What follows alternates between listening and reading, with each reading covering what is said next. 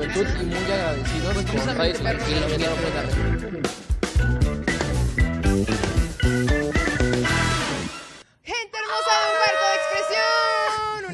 aquí nos vemos. ¿Cómo están el día de hoy? Nos encontramos en la calle de Melchor Ocampo, en el Hotel Boutique MO17, o sea, Melchor Ocampo 17, aquí en el centro de Querétaro. Oh my God.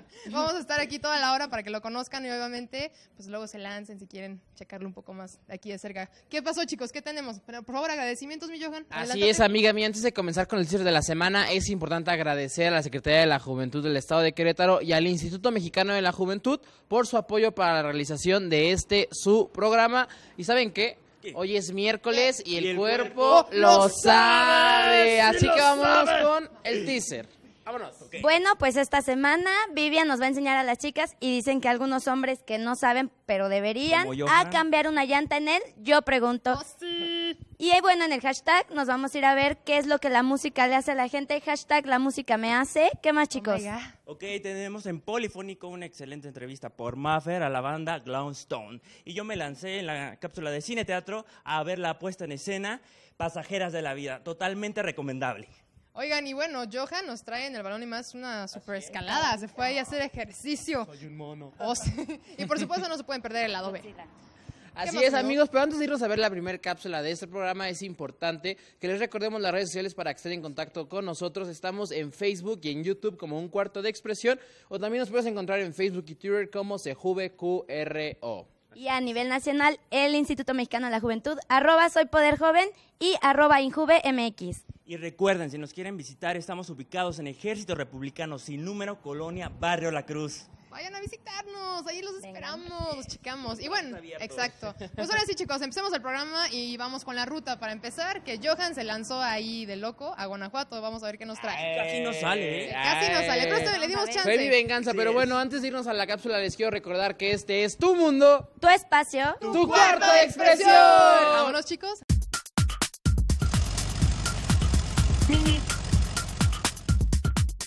Amigos, un cuarto de expresión en esta ocasión en la ruta Poder Joven me lancé a Guanajuato, Guanajuato capital y estoy muy feliz, muy contento porque he visto puras preciosuras aquí.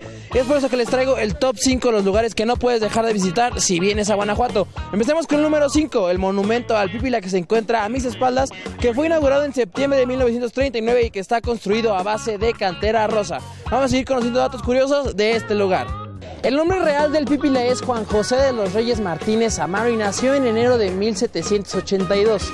A él acreditamos el hecho de que en 1810, en la independencia de México, pudiéramos acceder a la lóndiga de Granaditas que se encuentra a mis espaldas para así empezar el levantamiento armado de México que daría inicio a la independencia de nuestro bellísimo país. Uno de los motivos más grandes por los cuales no te puedes perder venir a visitar el monumento al Pípila es esta hermosísima vista de la capital de Guanajuato. Una vista donde podemos apreciar desde la Universidad de Guanajuato, la catedral, las iglesias, las casas y cada uno de los rincones de esta ciudad se pueden ver desde aquí. Así que si vienes a Guanajuato, no dejes de venir al monumento al Pípila.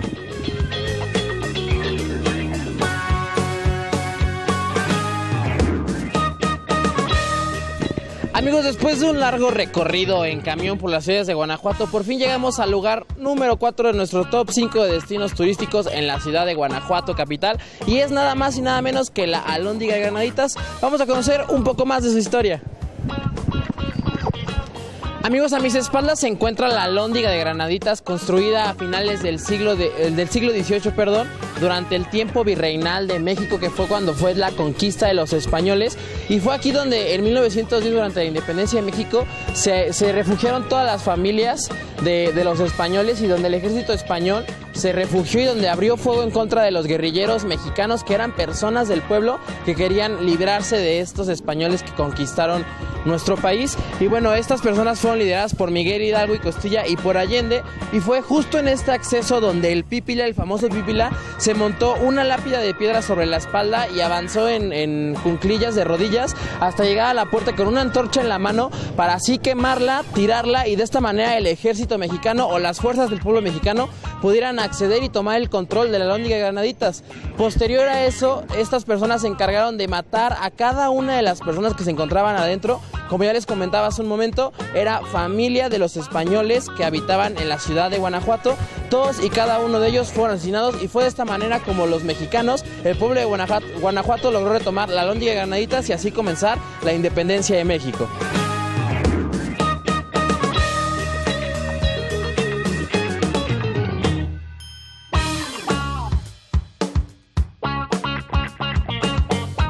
Amigos, llegamos a la mitad de este top 5 con el número 3, que es la Universidad de Guanajuato, que en septiembre del 2015, según la 62 segunda legislatura del Estado de Guanajuato, y por decisión unánime declararon que era benemérita, por tanto ahora es benemérita y autónoma Universidad de Guanajuato. Esto debido a sus aportaciones a los estudios de los jóvenes, a las artes, a las ciencias y a la educación de muchos guanajuatenses. Este es el número dos de los lugares turísticos que no puedes dejar de visitar en Guanajuato. Es el Museo de las Momias. A mis espaldas se encuentran las gavetas, que son el lugar donde son enterradas las personas en Guanajuato. En estas gavetas se entierran a las personas, puesto que Guanajuato está entre cerros y no hay partes planas. Por no se puede enterrar en la tierra y es muy costoso hacerlo de esta manera. Por tanto, de esta manera se economiza eh, espacio y tiempo y también se ahorra muchísimo dinero entrando a las personas de esta manera. Como no hay oxígeno dentro de las gavetas, las personas se secan y pasan a momificarse.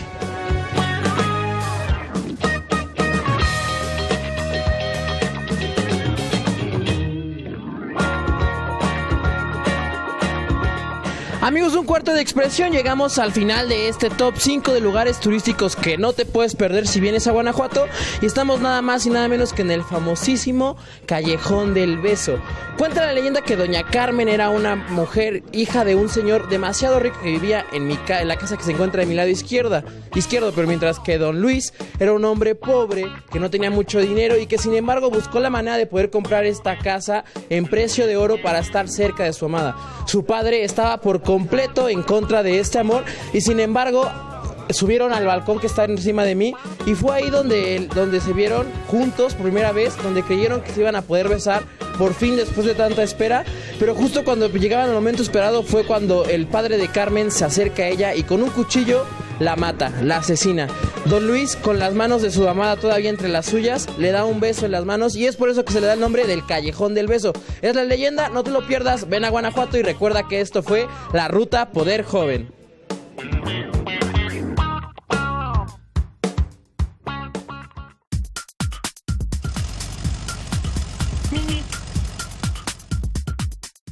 Ay, amigo, sí te fuiste Ay, ahí de loco. ¿Cuál fue tu lugar favorito?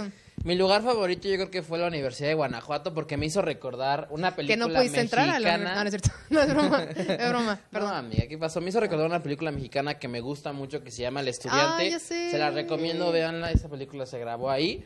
Y pues está muy padre, la verdad. Está precioso, es como un castillo Es gigante. mágico, aparte, Y hay que Guanajuato. subir como 200 escaleras. Hiciste para buena pompa, a- amigo. Buena pompa. Sí, más o Más de la que ya te cargas. ¿Qué pasó, amiga? ¿Qué me andas Bueno, viendo? pues mira, ya luego nos lanzamos todos a Guanajuato, nos damos ahí un rolón.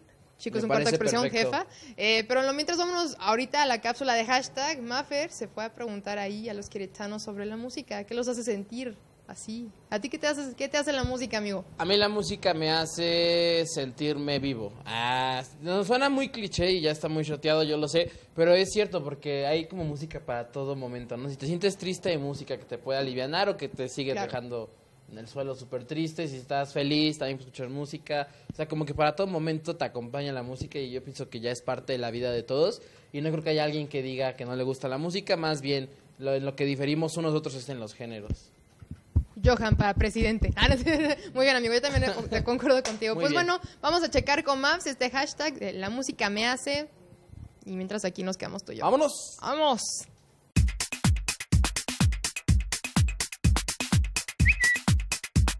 Y como ya les dijimos, nos venimos al centro a ver qué es lo que la música le hace para el hashtag La Música Me Hace. Y bueno, aprovechamos que están los chicos de la Red Poder Joven aquí en Plaza de Armas jugando a la cuerda. Un momento que ya hace cuánto que no jugamos. Vamos a ver qué es lo que la música le hace a la gente y los dejo jugando con los chicos. La música me hace. Bailar. ¿Y a ti la música me hace? Me hace feliz. Vamos a ver más. La música me hace. Feliz. Hashtag la música me hace feliz. bueno, tienen mucho en común, chicos. Gracias. Hashtag la música me hace feliz. Hashtag la música me hace bailar. Hashtag la música me hace alegre. Hashtag la música me hace feliz. La música me hace sentir vivo. La música me hace super happy. La música me hace feliz. La música me hace bailar. Hashtag la música me hace creativo. Hashtag la música me hace divertirme. La música me hace mm, relajarme. La música a mí me hace desestresarme. La música me hace sentir feliz, alegre y me transporta al lugar donde lo estoy escuchando. Me hace sentir, si estoy triste, feliz. Si estoy contenta, más contenta. Y me gusta mucho bailar. La música me hace bailar y alegre y alegría. La música me hace bailar.